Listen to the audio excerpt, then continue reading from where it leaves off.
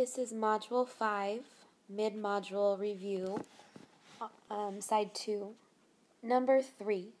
For Thanksgiving, Grandma made an apple pie and a chocolate cream pie that were exactly the same size. The adults ate one third of the apple pie, and the children ate one sixth of the chocolate pie. Who ate a larger amount of pie, the adults or the children? Explain your answer using words, pictures, and numbers. So I know that I need to show two different pies that are the same size. So I have first, I'm going to label it the apple pie. And then do my best to draw the same size circle. I'm going to label that chocolate pie. The adults ate one third of the apple pie, so I'm going to carefully partition my apple pie into three equal parts and I'm going to shade one third to show what the adults ate. Then it tells me the children ate one sixth of the chocolate cream pie.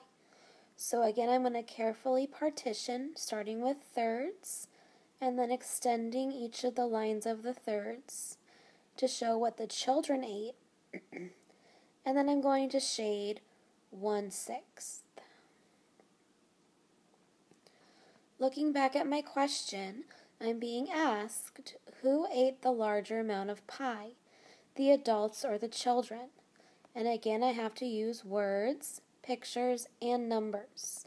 So I can go ahead and use numbers to label each portion of the pie.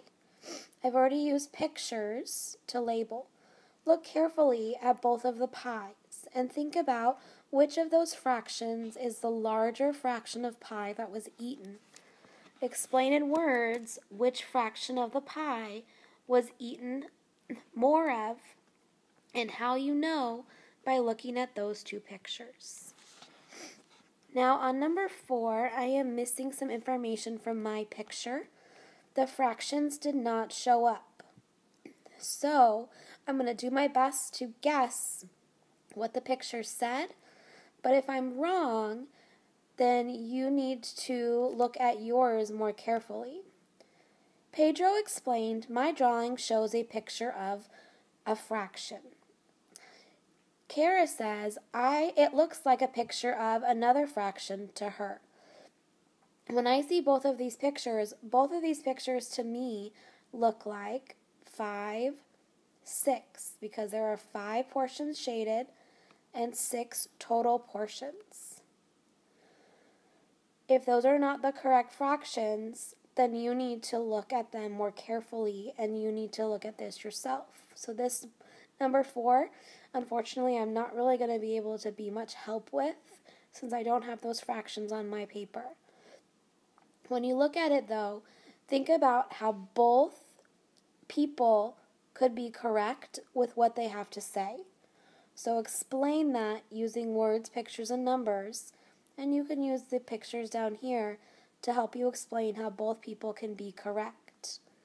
Then on part C, they're talking about that they can either represent one third or one sixth, and that must mean that they, I, I assume it says, are equal you need to discuss and write if you agree with Kara, again using words, pictures, and numbers.